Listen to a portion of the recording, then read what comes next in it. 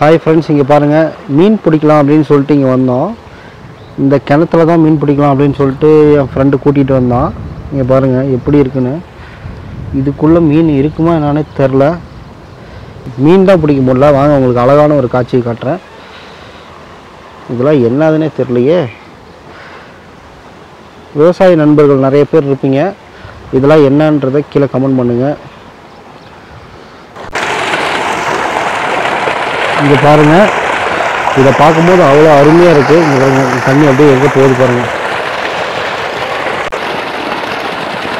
இது அப்படியே காட்டுக்கு போகும் போல இருக்குது இந்த காட்சி அப்படியே பார்த்துட்டே இருக்கலாமோன்னு தோணுது.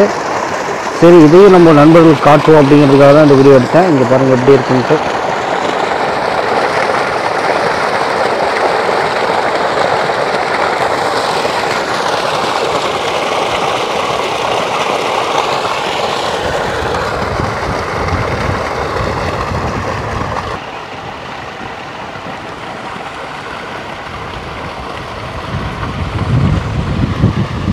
இந்த மாதிரி இடங்களுக்கு வந்தாலே மனசுக்கு ஒரு நிம்மதியாக இருக்குது ஒரு அமைதியை கொடுக்குது.